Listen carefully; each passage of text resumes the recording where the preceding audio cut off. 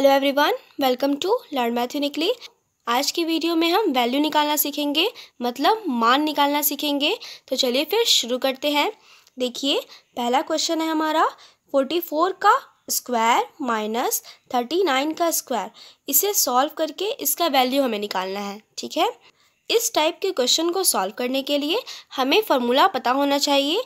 देखिए फार्मूला है हमारा A square minus B square. बराबर होता है ए प्लस बी और ए माइनस बी। ठीक है? A square minus B square इस इक्वल टू होता है ए प्लस बी और ए माइनस बी। ठीक? ऐसे क्वेश्चन को सॉल्व करने के लिए हमें ये फार्मूला याद होना है। आप इसे नोट कर सकते हैं। मान लेते हैं कि फोर्टी फोर क्या है? ए है। A is equal to forty four और B is equal to thirty nine. ठीक इस फार्मूला पर हम ये मान बैठाएँगे, ठीक है? ए का वैल्यू क्या है? फोर्टी फोर है। फोर्टी फोर का स्क्वायर माइनस बी क्या है? थर्टी नाइन का स्क्वायर ये हमारा क्वेश्चन था। इज़ इक्वल टू ए की जगह पर हम फोर्टी फोर रखेंगे। फोर्टी फोर प्लस बी की जगह पर हम थर्टी नाइन रखेंगे। थर्टी नाइन कोस्ट में ए की जगह पे क्या है? फोर्टी फोर है।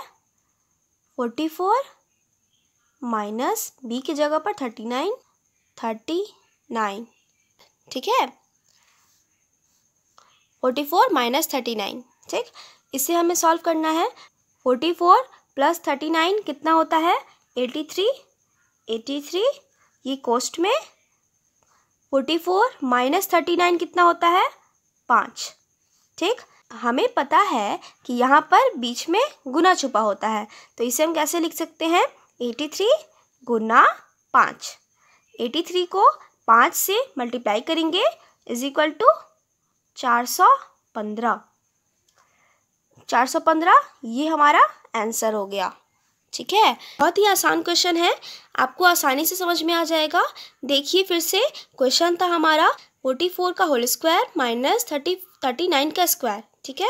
ऐसे क्वेश्चन को सॉल्व करने के लिए हमें ये फार्मूला याद होना चाहिए, ठीक है? फार्मूला है हमारा A square minus B square is equal to A plus B और ए माइनस बी ठीक? इस फार्मूला पर हमने ये मान बैठाया A is equal to forty four और B is equal to thirty nine ठीक?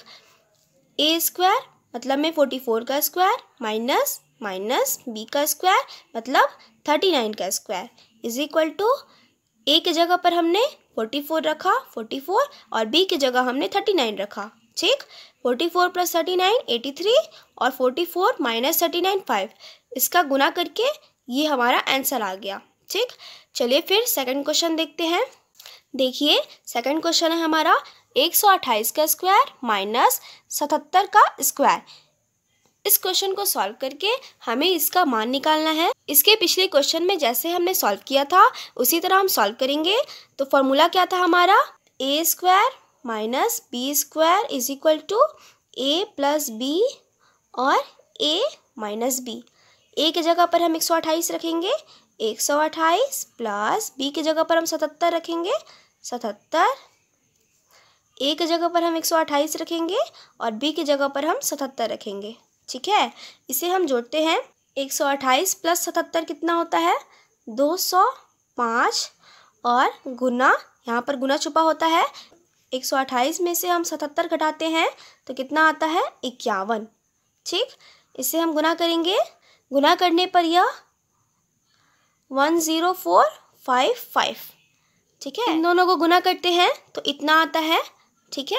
आई होप आपको समझ में आ गया होगा कि इस टाइप के क्वेश्चन को हम कैसे सॉल्व करते हैं। वीडियो हेल्पफुल लगी तो लाइक करें। चैनल पर नए हैं तो हमारे चैनल लर्न मैथ यूनिकली को सब्सक्राइब करें और बेलाइकन दबाएँ। Thank you